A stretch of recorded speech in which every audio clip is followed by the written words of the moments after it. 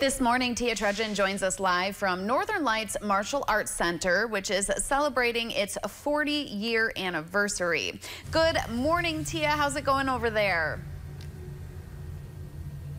Hey, good morning. Going well. We're here in the dojo celebrating 40 years in the community. I'm here with Sensei James to talk about that. So 40 years, what has Northern Lights Martial Arts Center been offering to the Marquette area?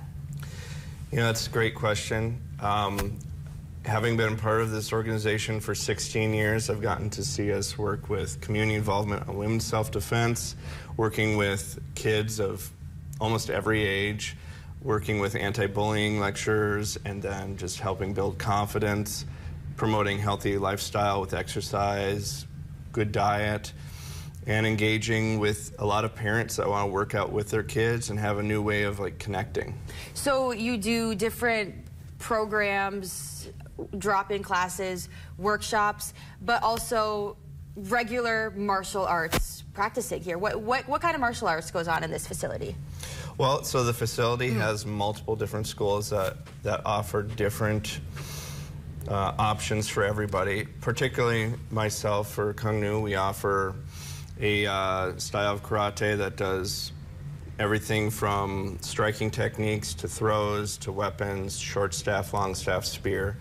And we work a lot with community involvement and working on uh, the individual self, not just the physical self. Yeah, because it's all it's all rounded and that's a lot of what martial arts is is being a, a well-rounded individual not just an athlete. And you actually have some opportunities for for self-defense classes for women. I know that's one of the things you mentioned at the beginning that you offer here a lot. Where, where can people uh, learn more about that and, and when can they get involved? That's a great question. So like we do it intermittently. It does uh, mostly depend on when we have enough people that want to mm -hmm. do the uh, the classes, and then we promote it throughout the um, uh, the community that way, and with the women's uh, women's center.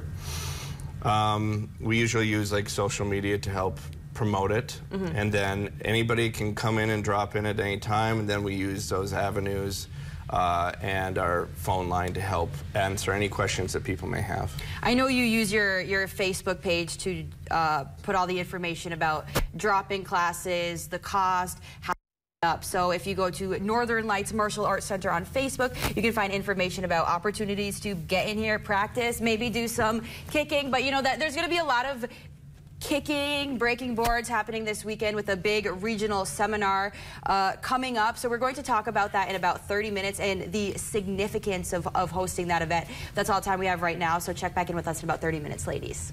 All right, sounds great. Thank you so much, Tia.